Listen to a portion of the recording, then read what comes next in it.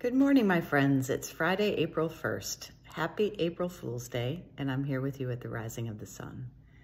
My cat has just eaten, and I have with me this beautiful engraving.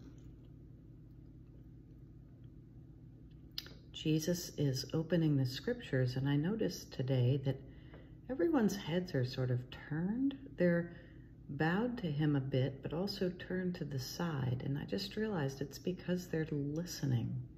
They're turning their ears to him. Turn your ears and listen to the word of God. Bend your understanding and open your heart.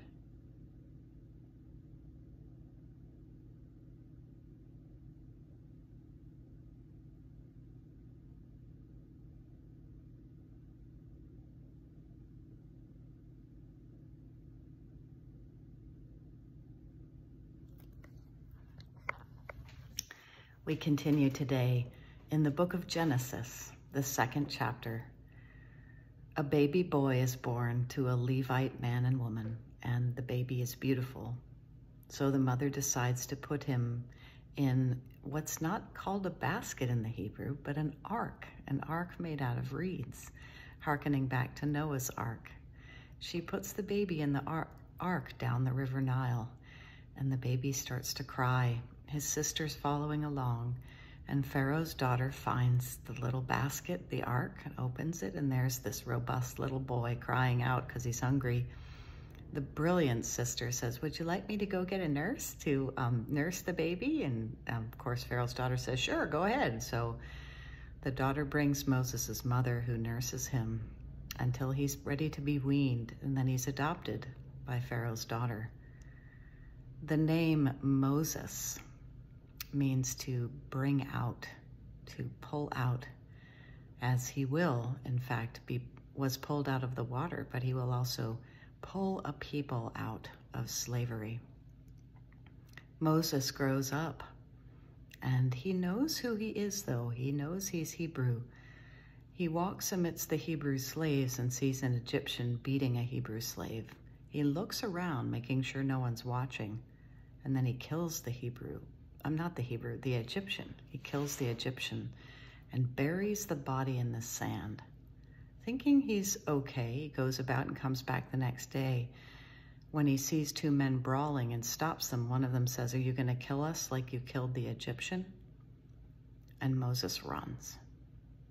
He runs to the land of Midian, near the desert, where there is a shepherd whose daughters are tending the sheep and they're at a well, at a water hole, and other shepherds drive them away and they can't get water for their sheep. So Moses fights the shepherds, protects the women and their sheep, and draws out water for them so that the sheep can drink. So they go back and tell their father, Jethro, what's happened.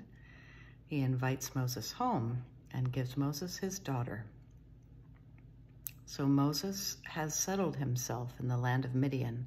He is obviously very strong quite impulsive, very healthy, willing to murder if needed, able to run.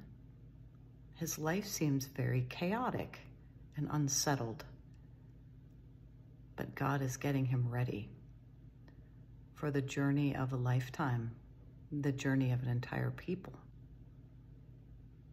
And so, as how strange it is, this, this troubled youth, this one who runs away and who is violent and unpredictable could become such a great leader.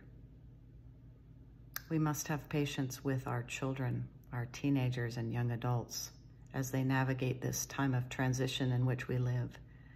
They may become great, but they have to learn to navigate a lot more than we did when we were their age.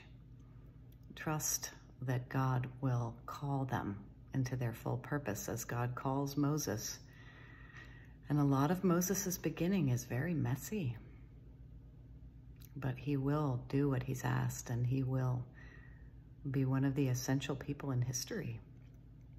Just give him time. Let us pray.